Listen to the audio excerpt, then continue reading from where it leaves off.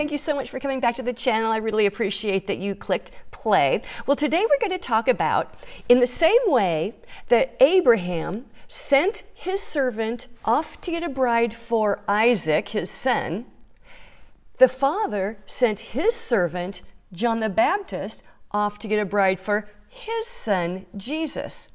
And we notice that the father's servant, John the Baptist, even tells us the very moment Jesus has raptured his bride.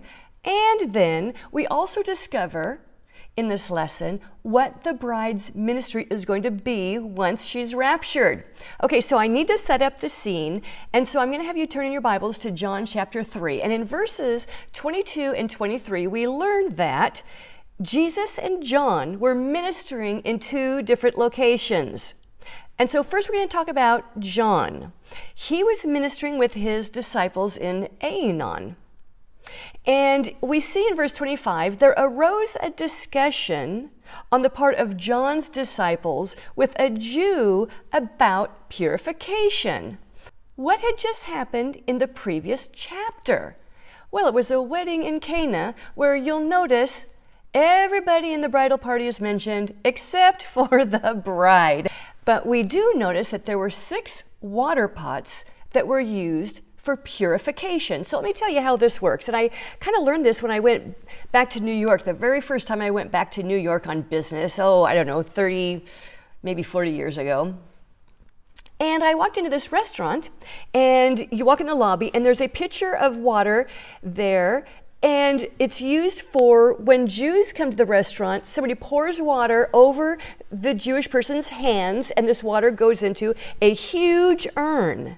Okay, well, same too at the wedding in Cana. There were six water pots there, and there were 20 to 30 liters of water in each one. They were not filled all the way to the brim because there were guests perhaps still arriving that would have water poured over their hands, their dirty hands, and this dirty water would go into these six pots.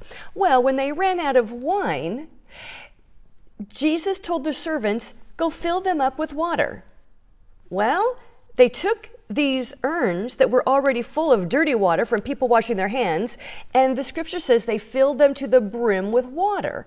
And then they served the water then they serve the wine from those purification pots. So now we see that there was a Jewish person who had gone out to where John and his disciples were ministering, and he is talking about this miracle that happened in Cana. And can you believe it? Jesus had us fill those pots that were full of filthy water with water and then had us serve wine to the guests out of them. So they're having this discuss, discussion in John chapter 3 about what on earth? Is this is filthy. This is gross. What kind of a miracle is this? Who is this Jesus? This is so bizarre. Were the people really clean? Did the people that drink that wine, were they unpurified at that time? So you can see this discussion and all these questions. But John the Baptist, overhearing this discussion, he starts talking bridal terminology. Okay, now let's talk about Jesus because he was ministering at the same time, but in a completely different location. And where is Jesus? Well, scripture tells us he's in the city of Sychar in Samaria. Well, Sychar means strong wine. And Jesus was at Jacob's well, his the father of Joseph. So Jesus was at Jacob's well, which was next to a parcel of land that Jacob had given to his son Joseph. You know Joseph, the one that was sold off into slavery in Egypt, and then his boss, who was a father type to Joseph now at this time, his father, Pharaoh, gave Joseph a Gentile bride. All right. Well, so now here we've got Jesus talking to the woman at the well, and she's asking these questions. And, you know, where do we worship at? And why are you talking to me? You know, just questions like that. She's very interested. she was looking for Messiah. No doubt she'd been baptized by John in the Jordan at some time previously. All right, so Jesus is talking to the woman at the well.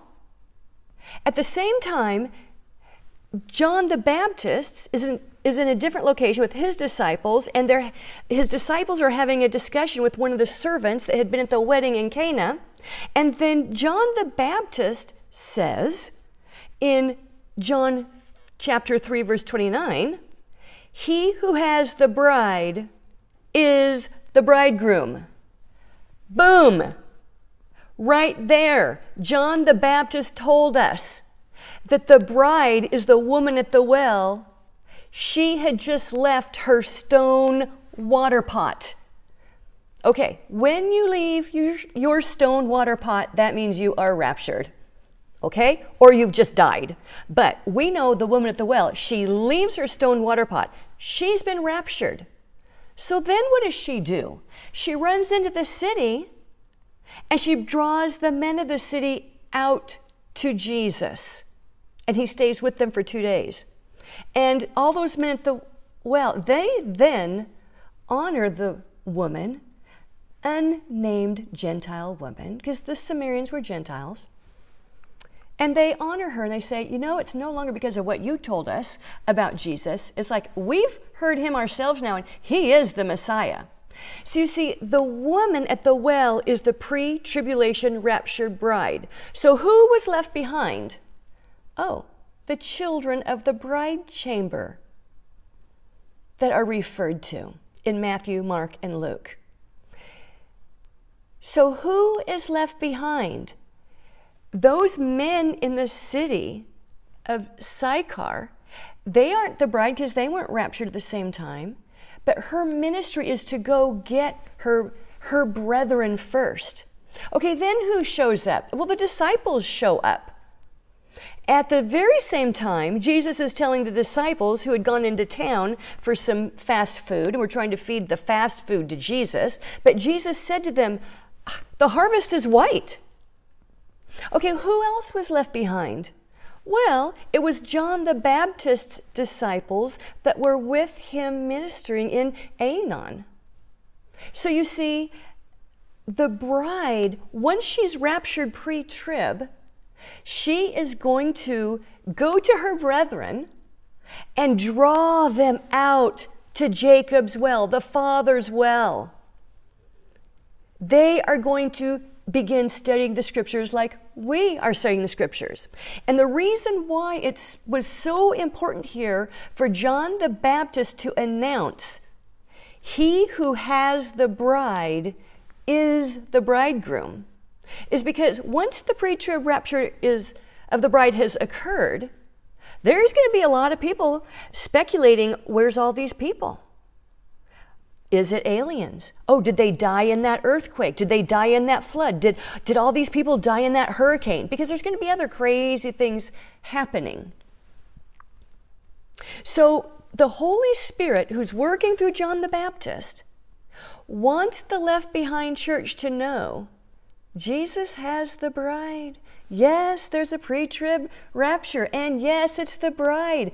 Yes, that's the rib of Christ. Yes, you're left behind. So now read the seven letters of the book of Revelation because they're going to tell you why you're left behind, what you need to do to overcome, to either be a martyr or to make it to that mid trib rapture of the church that has the believing portion of Jews grafted back into it per Romans chapter 11 that we've talked about. Now, what does John the Baptist say next? Right after he announced that Jesus had raptured the bride, he says to his disciples, He must increase, I must decrease.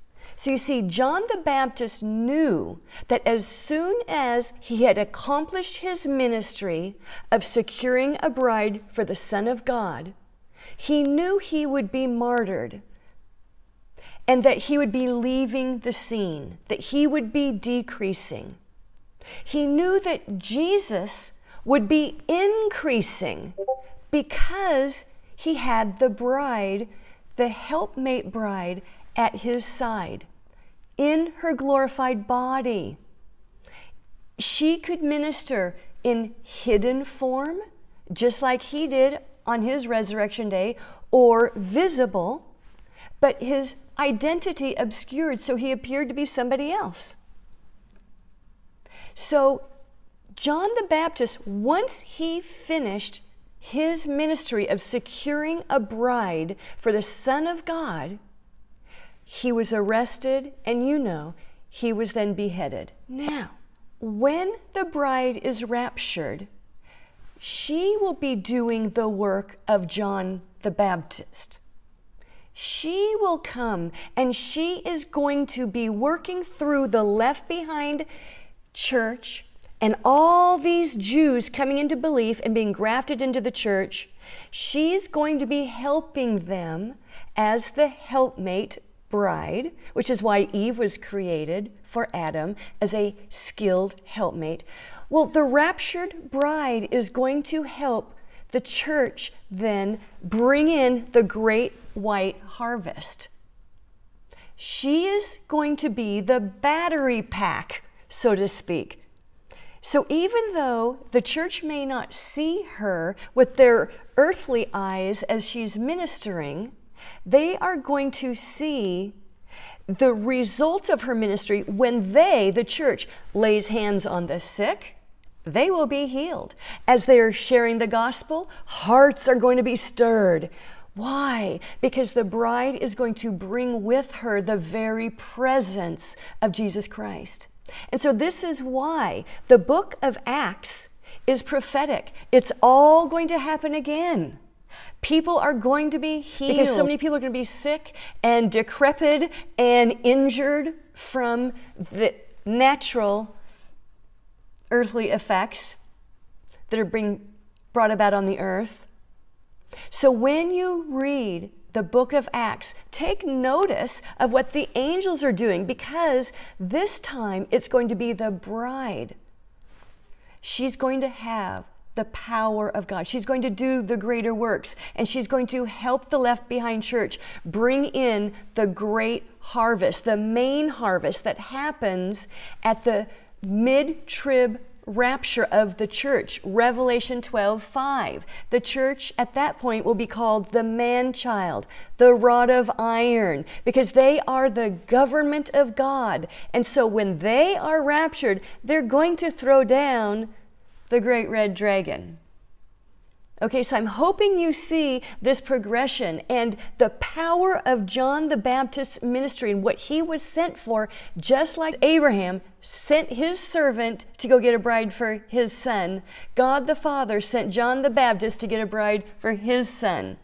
Because just like Rebecca then married Isaac and they were all about the Father's business, so too will the bride and Jesus Christ be all about the Father's business, securing the other things He wants. So if you get it, just put in the comment section, I get it.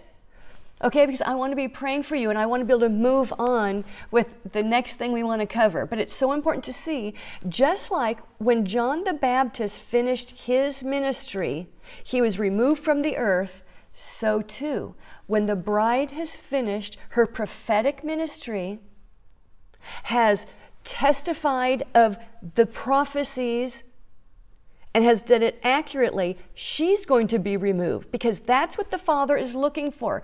The Father is looking for the bride to mature so that he can remove her from the earth and she can begin the next step of her ministry, that she is making herself ready for right now. We are making ourselves ready for the next step of ministry when we are in our glorified eternal bodies.